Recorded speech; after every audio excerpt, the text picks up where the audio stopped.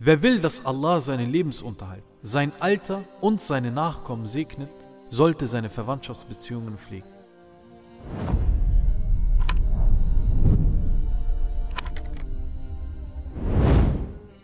Leider ist die traurige Erkenntnis, dass die Familien zerrüttet sind.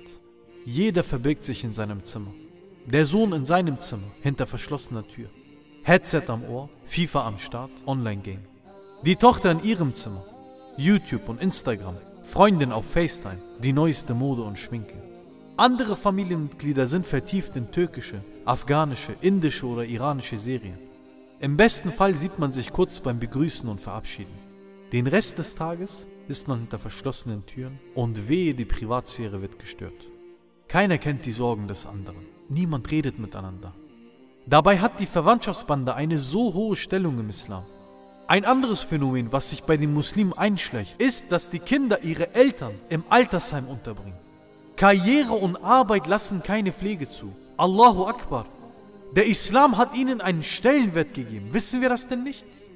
Allah subhanahu wa ta'ala, der Erhaben, hat befohlen, sie zu ehren. Vor allem, wenn sie älter sind. Sogar ein Uff ist uns verboten.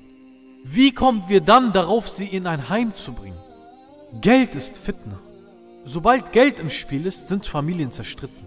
Jahrelange Kontaktlosigkeit, sei es durch das Erbe von Land und Boden in der Heimat oder das Erbe der Eltern an die Kinder. Probleme, die der Islam geregelt hat, damit kein Streit entsteht. Dennoch haben Familien jahrelang keinen Kontakt zueinander. Die Familienbande ist ein Fundament für eine islamische Erziehung der Kinder. Erst durch regelmäßigen Kontakt und konstruktive Gespräche können Probleme, Kummer und Sorgen beseitigt werden.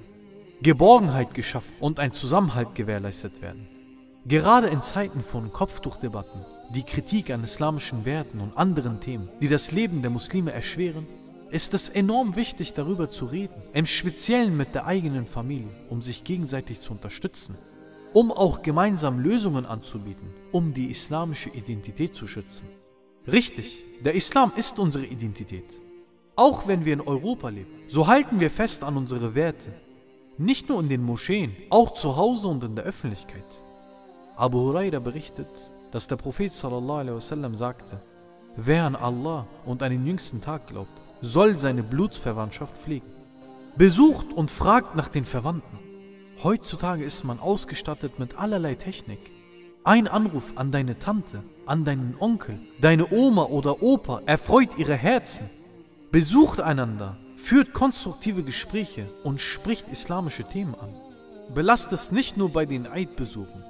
Allah subhanahu wa ta'ala hat uns in unzähligen Ayat darauf hingewiesen, die Verwandtschaftsbande zu pflegen. Sie ist enorm wichtig. In jeder Familie gibt es Probleme. Die Probleme werden aber nicht dadurch gelöst, indem man sich meidet. Die Familienbande ist eine Gnade Allahs an uns. Der Mensch ist ein soziales Geschöpf. Er bedarf der Kommunikation und dem Umgang mit Menschen. Umso schöner ist es doch, wenn der Gläubige seine Sorgen teilen kann und dies an erster Stelle mit der Familie.